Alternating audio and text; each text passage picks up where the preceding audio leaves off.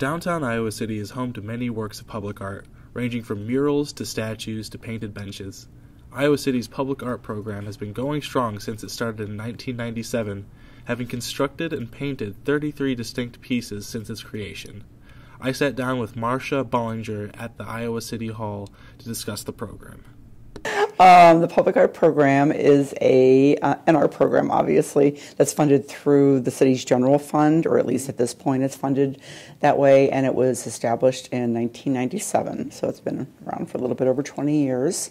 Um, at that particular point, um, the the strong need um, was related mostly towards the fact that the city was in the process of renovating the pedestrian mall which they have now just completed again. So you can you can tell how long ago that was. But as part of that renovation process, they really wanted to see the incorporation of public art. Iowa City government isn't the only group that's making public art in Iowa City. The Iowa City Downtown District is a business association that has also helped contribute to downtown Iowa City through their mural campaign, which was created in response to dwindling funding for the Iowa City's public art campaign.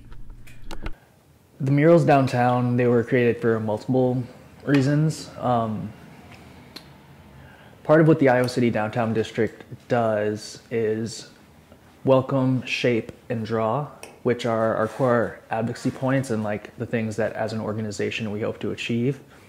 And so the murals are kind of like a natural part of that, whether it's like the welcoming and the drawing or even like the shaping and that you want to like draw people down town you want them to feel welcome and you also want to like shape like the actual landscape of the downtown